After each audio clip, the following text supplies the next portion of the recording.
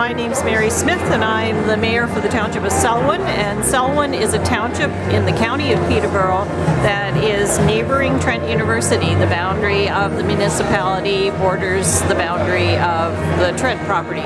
So uh, it's really great to be able to be here on behalf of the whole township, our citizens and uh, the rest of council because Trent's an important part of our community. Many people who work at Trent are and our students at Trent live in the township of Selwyn. So we, what is uh, good for Trent is good for the township of Selwyn. And uh, so thanks for the opportunity to be here. Happy 50th anniversary Trent from the township of Selwyn.